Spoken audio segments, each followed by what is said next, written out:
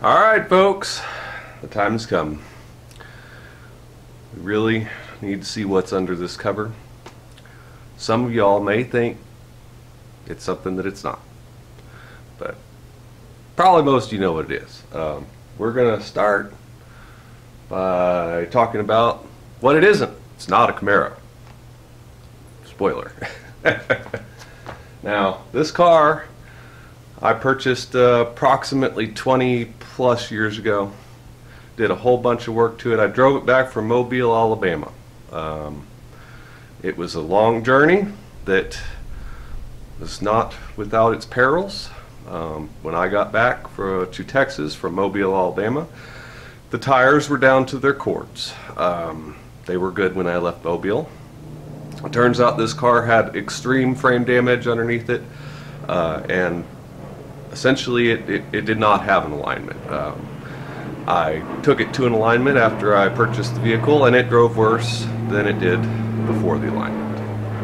There was obviously some trickery involved there to make the car sort of drive straight. Not really sure. Long story short is that the front frame rails had buckled from rust on the top and the entire passenger side of the car at one point had either come into contact with a guardrail at a high rate of speed or gotten T-boned. I don't know. It was bad. Um, fast forward a little bit, like, dang it, bought this crappy car. What are we going to do with it? Uh, at the time, there was a really good junkyard um, that did nothing but Mopars here in the area uh, called Dr. Mopars. Um, and he had a very good selection of random any Dodge you could possibly think of uh, for parts. I went out there with the old top hand and uh, with my dad, Larry the engineer, and we found a donor for a front frame section. It was from a, I believe, a 75-ish um, Plymouth Valiant, I think. Um, took our little portable torch set out and took a strap over the top of that car and used the top pan to roll the car over uh, on its lid and torched the whole front subframe out. Um, lots of grinding and stuff later to you know take the metal that we didn't need off of it and get it down to just where the tack weld or the, the uh, what do you call it the uh, spot welds were and cut the front rotten section off of this car. Um, it was a long time ago, but we did manage to get it on there straight. Um, long story short. And it went to an alignment and it got aligned. And that didn't really, that doesn't cover the, the, the, side, the fact that the passenger side of the car got smacked, nor the fact that the, you know, uh, quarter panels were completely rotten out on the bottom side and had about that much Bondo. Yes, that much Bondo on the sides of the quarter panels when we bought this car. It was uh, in bad shape. Long story. Um, so we put the Magnum 380 crate motor from the top hand in it. Took it to one car show with a very sketchily welded together drive shaft to make all of that work. Drove it around town a couple of times, I think. Parked it. You know, life got in the way. Went to school, got a job, moved away from home, etc., etc. The car just sat. Moved the car out here, put it under this cover, under this lean-to, and haven't touched it since the starter died. Five, six, eight years ago? I don't know. It was a long time ago. Starter died, it melted a fusible link, I'm pretty sure. There was smoke. I closed the hood and I forgot about it until now. So, today we're going to actually uncover this thing. Um, we'll pop the hood, see if the 20 year old brand new tires will hold air still. Um, get it on the rack, get a starter out of it, put a starter in it. Not really looking forward to it. Uh, apparently, there's people out there who think I uh, really should do this. And I'm going to just go ahead and do it, so we don't lose interest. and I need to do it anyway. This poor engine probably has about 15,000 miles on it, and I'm ashamed to say that, you know, it's probably seen better days. I'm pretty sure it still turns over. We're going to find all that out today. Um, we're going to get air in tires. We're going to drag it on out of here onto a rack. Pull the plugs, lube the cylinders, turn the motor over a little bit, um, evaluate what the hell I did 20 years ago to make this car run, and let's hope that, you know, it turns out good. So let's see what it looks like under this uh, very terrible excuse for a car cover, and it's, it's not a Camaro. Promise you. So, start by removing the Camaro bullshit. All right, folks, you guessed it. 68 Camaro. No, Barracuda. And it's a notchback model even. I think there's some guys up in Canada that have one of these. They they think it's a big deal. I I don't know. Let's see what it looks like. See if the tires take some air. Oh, we'll do a little walk around here. All right, folks, here we are. First time it's had the cover off of it in quite some time. Today we're going to try and resurrect the old girl.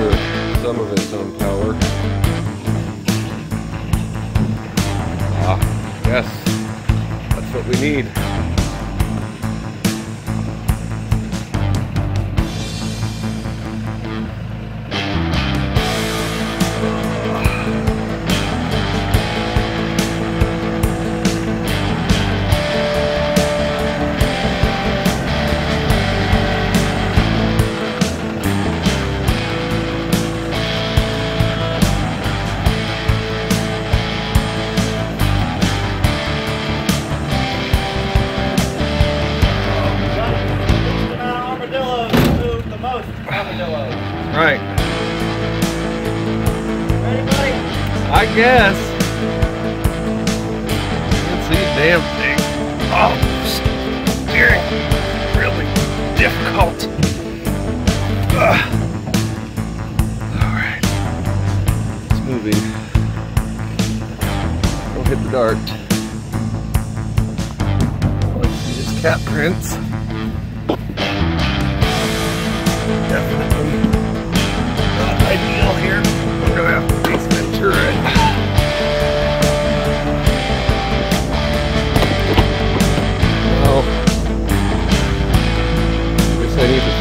door.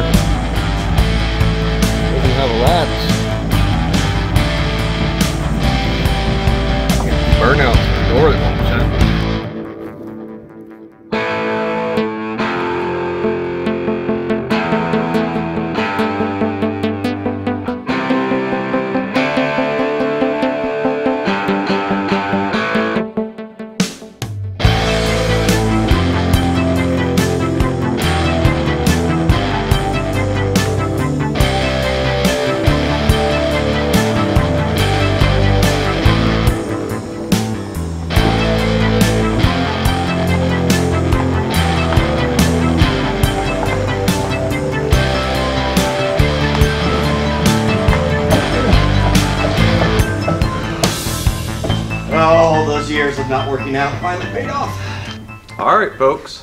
we did it. We got the Barracuda resurrected. I'm not going to show you what happened there because you need to go watch Duddie's video. He does a way better job with that. Uh, and I frankly don't have the time to videotape everything that we did to this car. Um, he does a great job of it. Shout out to Duddie's Adventure. Go check him out. Today we're going to go through the finer details of how I built this car 20 years ago. Some of it's good, some of it's ugly. We learned a lot over the last week. Um, we learned that you really shouldn't let a car sit for 20 years, um, especially if it wasn't done before you let it sit. So, without further ado, we're going to go ahead and put it up on the rack. We're going to just show, you know, how much I really did do on this car 20 years ago, and thankfully, it all actually held up pretty well. Here we go.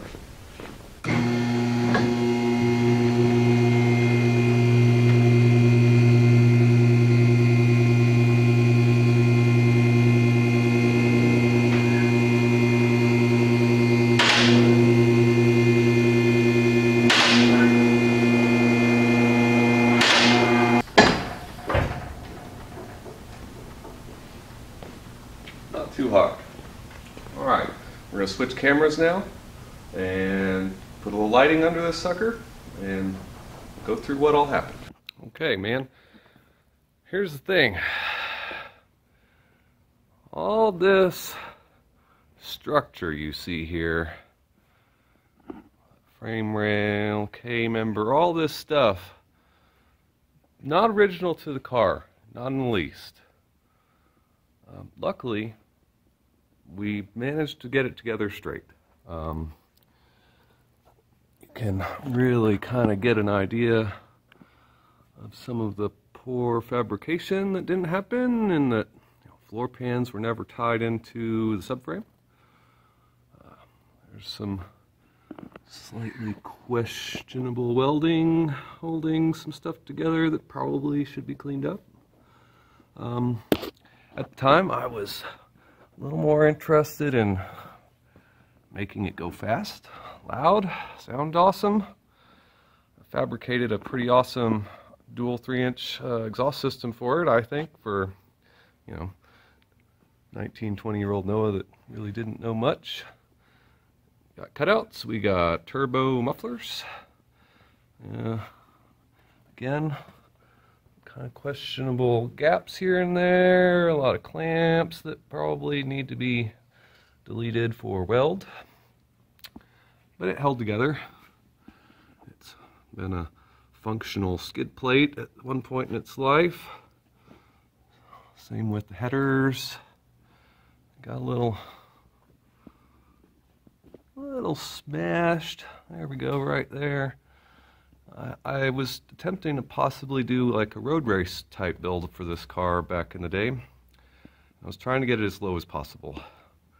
That really didn't work out well. Um, as y'all have seen, the current stance is a little bit more moderate as far as they go. The entire front end under this car is fresh. Bushings, ball joints, tie rods, whole shebang. I even put brand new tires on it. Yeah. 15 miles worth of tread wear on those guys. And um, come over here to this side. This is where you can really start to see some of the differences. That entire quarter, or the rocker panel there, was completely cut out and replaced. At the time, uh, there was not a dedicated Barracuda rocker panel to buy. You could get them for a dart or a duster. That's what we did. You kind of see, it, it, we made it work, but you scooch over here to this other side. If you look at a Barracuda rocker panel, it's not straight like that. It's got a nice curve to it. Holds the body lines. So, you know, just pretend like that didn't happen. It's it's solid. We know that. Um, let's check out some of the uh, tire wear that occurred last week. This tire also was brand new. We cut it off short uh, so that I could at least move it around. She's, they've got another burnout in them. Don't worry. We'll, we'll be taking care of that. Also last week, as you saw in the video that Duddie made, fuel tank was completely trashed. Um, luckily I had one in stock for 76 Dart. And uh, we made it work, at least temporarily. The axle under this car is an eight and a quarter. Uh, I believe we harvested it from the same vehicle that gave up its subframe for the front. Eight and a quarter had it rebuilt with a fresh set of 323 gears and a uh, Trac-Lok. Um, we have super stock springs in the back here with, uh, you know, good brand new 20 year old KYB shocks. I wasn't really stoked on how the ride height was. What I did here was I actually cut down some leaves and uh, bolted them into the pack to make the car sit level with super stock springs. Not ideal, probably, but it made it sit the way I wanted it to. looks like we've got oh five five springs stacked there, all bolted to the pack. It works. Not ideal. You have again some nice nice rubbers on this with some rallies. I do have center caps for this car. Um,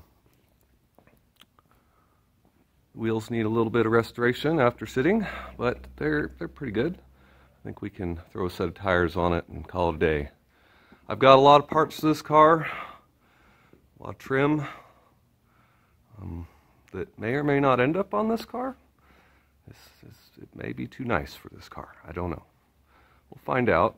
But for now, the main problems we ran into, amongst others, uh, was A, fitting the mini starter. Came right out after some finagling. And you'll see we have the traces of a coolant leak still. If you watched Duddie's video, you'll have seen that we had one freeze plug that just a little bit of poking at re removed all the lifeblood from the block. Put a plug in it, and we're still leaking. I believe it's probably the plug that's uh, between the engine and the transmission causing that trouble. This engine will have to come out um, for various reasons, one of which is to replace freeze plugs, other of which is the block is completely full of rusty sludge, and you know, we've got to weld up these floor pans that are being held together by vice grips over here and nothing over here. um, as we know, a A-body or any Mopar of this era is a unibody car and your floor pan is structural and well the engine needs to come out to finish up this welding plain and simple. Uh, there's just too much in the way to really get a good job done on it. And, you know, we'll have to kind of start over in a way.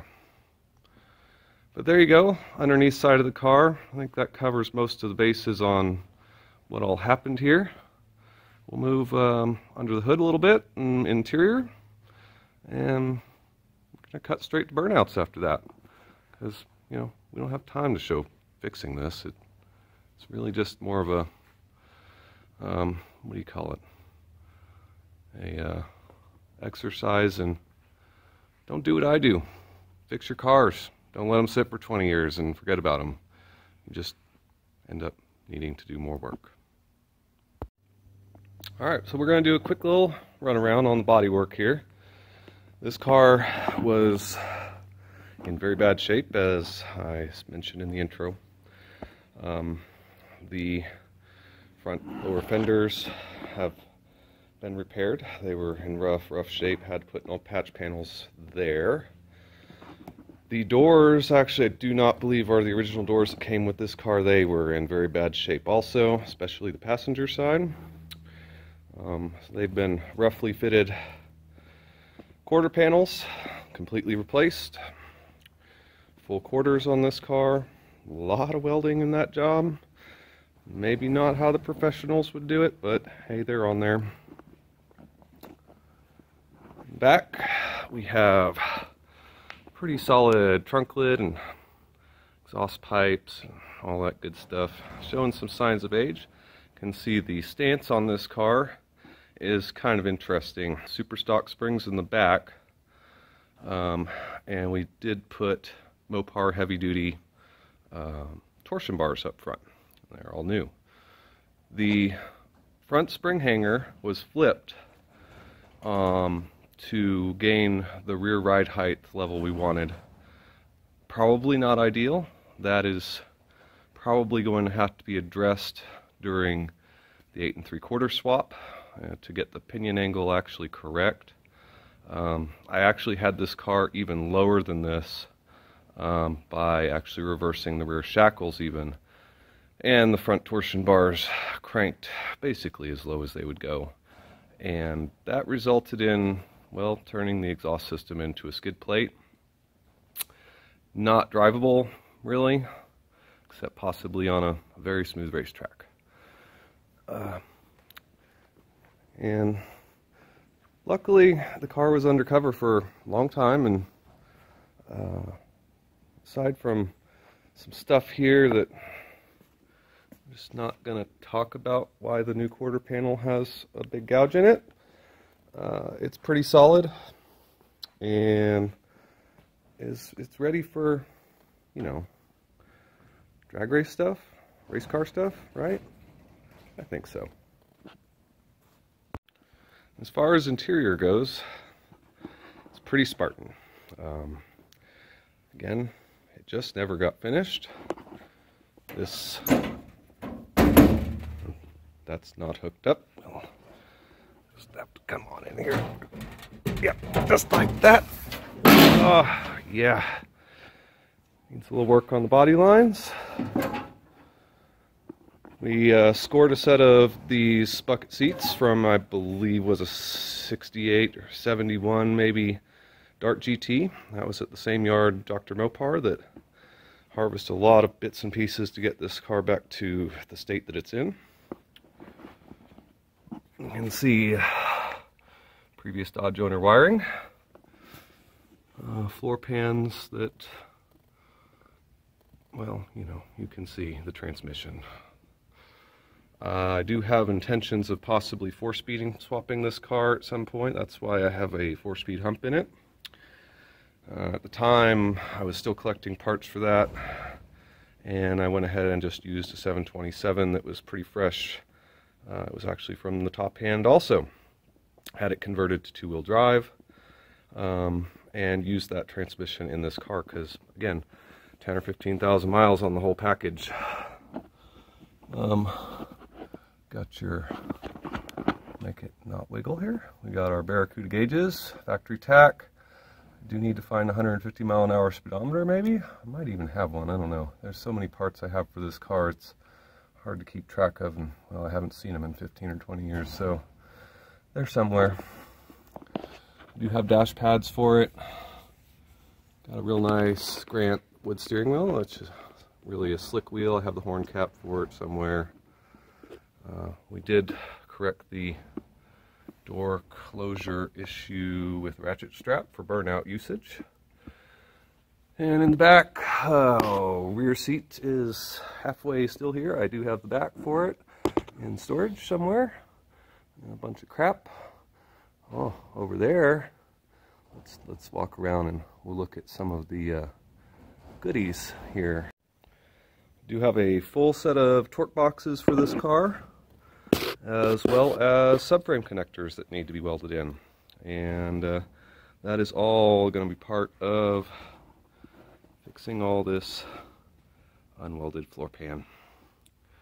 Amazingly, guys, this car still has brakes after 20 years. I'm not sure how, but they still work.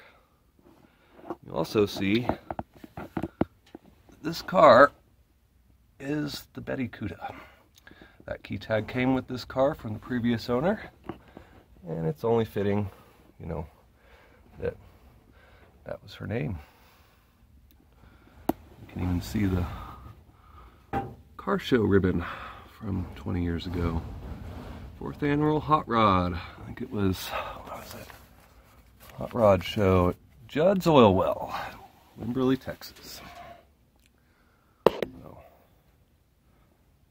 Let's look at the trunk. Believe it or not, folks, this car came with two keys. Wouldn't you know it? Huh. A Mopar that doesn't use a screwdriver to open the trunk. Who would have thought? Rare bird indeed.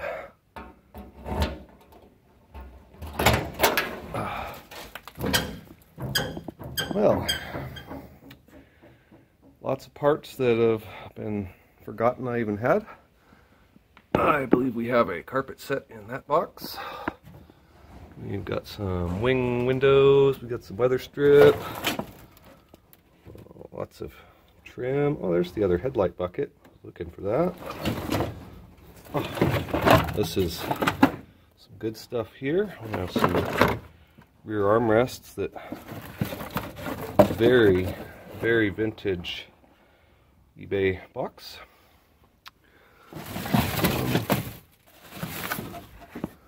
Well, some more miscellaneous things. Up oh, there's the other side door handle. I bet there's a door latch in there even for it. Need to, need to look at that.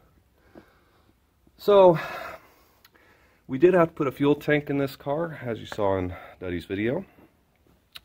We did it pretty hastily. It did get the filler neck back in it.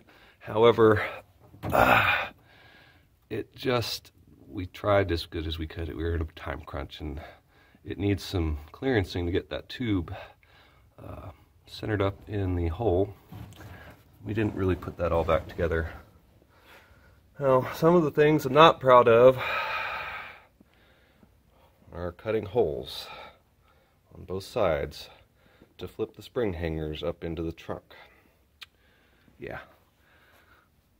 Lowered Barracuda, yeah, it can be done. Not recommended. I gotta fix that too. I'll add it to the welding list. But you can see it's pretty, pretty sanitary. We actually did a lot of work um, kind of prepping this car for paint back in the day. Bottom of the trunk pan is all solid. We've uh, did a lot of a lot of work on this. The rust repair that we also did included uh, rebuilding this whole rail very tediously. Um, you know, new window gasket. Actually, if you look close enough, it's actually got finished paint there. Uh, so it was ready for its paint job. Maybe one day will be black, not primer anymore. You know, y'all tell me what you think. I, I, think 68 Barracuda in black is about the coolest thing, well, especially a notchback.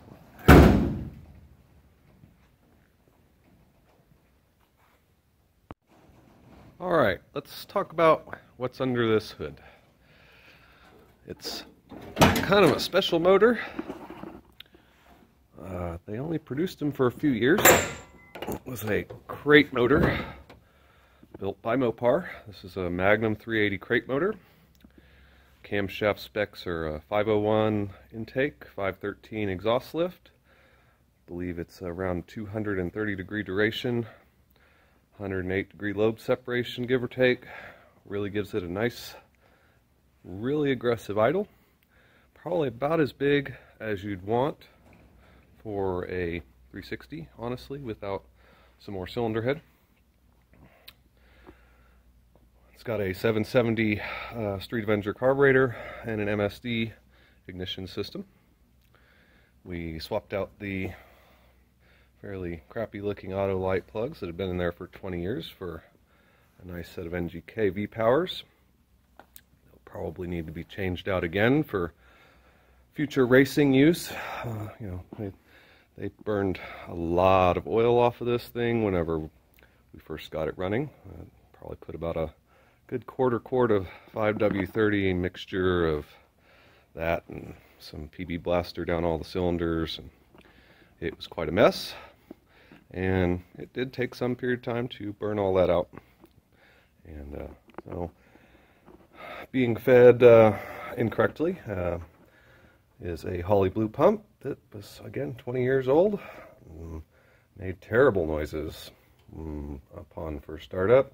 Finally got it to pick up some fuel and it quieted down. Makes good pressure, good volume. Unfortunately, our fuel pressure regulator decided to last just long enough for burnout purposes. It is leaking profusely uh, from you know, all of the sealing surfaces, etc. that you know, but whatever. We, we won't talk about that right now. It's going to be fixed. It's got to be moved. Um, Other than that, it's a pretty basic A-body setup. Manual brakes, um, front discs, 727 transmission, headers that I, I'm pretty sure I will just go ahead and keep. We get a starter in and out of it now, and they're not not rotten. They don't have holes in them, uh, so you know if they survive the engine removal, then uh, they'll go back on. 380 horsepower, 410 foot-pounds of torque. It's uh, enough to really make this car boogie. We took this motor out of the 1979 Dodge Top Hand Power Wagon. It's my uh, off-road truck. Catch a walk-around video of that on my channel here. And it survived 10,000 miles of beating on it in that truck, which was great fun. It at the time was running just 31 by 1050 tires. And that truck with this engine was able to pull down a 14.9 quarter mile at 89 miles an hour. And the fuel pump I was using on that truck at the time was the limiting factor for that. It probably would have been closer to a 14.5 or less. It just, the pump couldn't keep up. I fully expect that this engine in this car can easily put it into the 12s, maybe will work. Good track, good temps, you know, I don't know. Easy 13s, no doubt. The serpentine belt system on this is very custom. If you've ever worked on late model Magnum pickups, you'll recognize some of it. The main difference is that we don't have a power steering pump and that that tensioner pulley assembly is on the wrong side. It would be right there on a truck. We kind of cut it down, melded it back together, made it work with a Magnum pump that is bolted to an LA timing cover. That's one nice thing about these 380 crate motors. As you can see down there, we have a fuel pump block-off plate. They actually put a fuel pump eccentric on the camshaft in these engines and use an LA timing cover we found that our bracket system from the old truck, uh, an old Mopar, you know, V-groove belt system, never could get anything to line up. It would throw belts off at 4,500 RPMs every single time you raced it. And uh, so that was this. To make this work, I had a custom uh, adapter plate. Kind of see that between the water pump and the timing cover to space the pump out correctly and you know, cut that bracket up, bolts right onto the Magnum head. Uh, did some trickery there. Custom length belt that now I surely will never be able to find the right length again without going to the parts house and, you know, going through the stack, see what is the right length. Again, this motor does have to come out. It is full of rust. The freeze plugs are gone. I thought they were brass freeze plugs. They're actually just brass anodized plugs. So there's that. And the motor needs to come out, all the plugs need to come out, and the block has to be flushed. Um, and, well, we saw the uh, nice welding work that needs to happen. And having the engine out of the way here would make life much, much easier. So that's pretty much it. Electric fan setup. Um, this radiator is actually out of the 79 W150. Uh, it got transferred over during the swap. Does a okay job of keeping it cool, although I don't really know. Only never put maybe 15, 20 miles on it, if that. One car show, a couple burnouts. Um, yeah we might need to clean that out. job for future Noah. Hopefully not in 20 years. All right, y'all. I think that pretty much does it on the walk around on how we put this car together, why it sat, all its problems, huge amount of work that's still to be done. I'd like to give huge thanks to my buddy, Duddie Adventures. Eric, you did a great job putting this video together. I couldn't have done it. You, you captured what it's like to have a car that you've literally been the thorn in your side for 20 years and what not to do. You know, regrets. Um, another huge thanks. Bad Tree Productions. Y'all's clip in the middle of this was absolutely hilarious. The fact that you spun Back to the Future into transporting a starter from Canada, over there, Canada? Yeah, Canada, Iowa, whatever, to Texas, through a mini fridge, powered by beer. Freaking brilliant. Um, we need Mr. Fusion stickers, I think. Yep. So this is going to be a thing. We're going to, you need parts, I need parts, hell, five seconds away and a 12 ouncer. You know, let's do it. Um, so huge thanks to y'all. It was absolutely hilarious. Uh, I needed a starter. Y'all came through in a pinch. Couldn't have done it better myself. So just to show y'all, we didn't blow it up doing the burnout. We're going to do a cold start here. Thanks to y'all in Iowa, you guys sent us down this weather. It's like at least 35 degrees today. It's miserable. It's sunny, but miserable. Um, so we'll do a cold start and we'll go right into burnout montage, which y'all saw only a little bit of.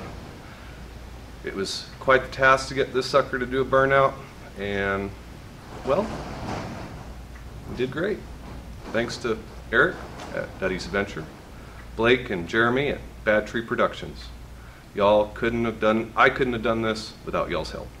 Thank you.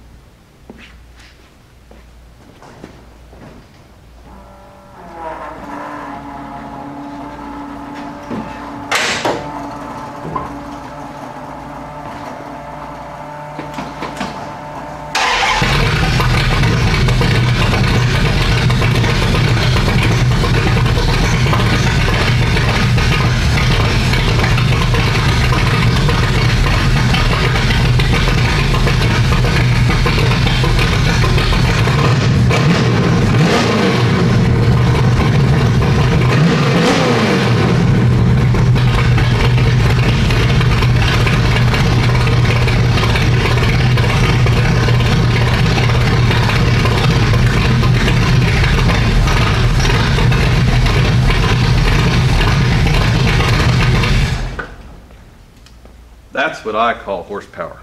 How you want to do this? Are you going to do a little test bump just to see if it goes? Guess so. And then if it goes, you're just going to go with it? Obviously, that thing just wants to be on all the time. No, at this point, the fact that this car is running, just disregard the fact that the, the I mean, you should just plug it in and let that son of a bitch eat. I've got secret sauce over there. Do you want to use it or not?